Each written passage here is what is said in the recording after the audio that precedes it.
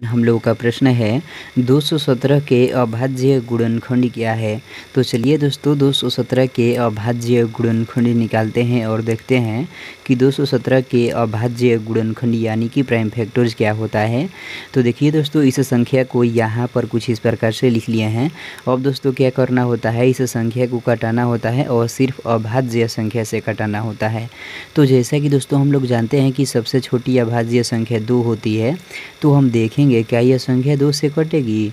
तो दोस्तों, दो से कटने का नियम होता है, जिस भी संख्या की इकाई के अंक ज़ीरो रहता है, दो रहता है, चार रहता है छः रहता है और आठ रहता है तो वह संख्या दो से कट जाती है।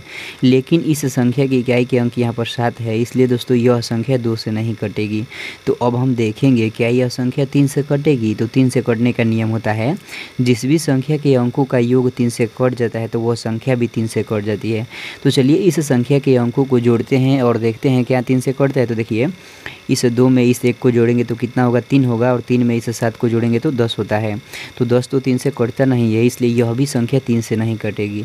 तो अब हम देखेंगे क्या यह संख्या पाँच से कटेगी। तो दोस्तों, पाँच से कटने का नियम होता है, जिस भी संख्या की इकाई के अंक ज़ीरो रहता है या पाँच रहता है तो वह संख्या पाँच से कट जाती है। लेकिन इस संख्या की इकाई के अंक यहाँ पर सात है, इसलिए यह संख्या पाँच से नहीं कटेगी।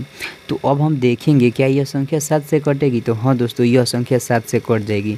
तो चलिए इसको हम सात से कटा देते हैं। ध्यान दीजिएगा दोस्तों, देखिए, यहाँ पर तो इक्कीस है तो यह इक्कीस इस सात से तीन बार में कट जाएगा क्योंकि सतरी के इक्कीस होता है। यहाँ पर तो सात है तो यह सात भी इस सात से एक बार में कट जाएगा क्योंकि सात एक ही सात होता है।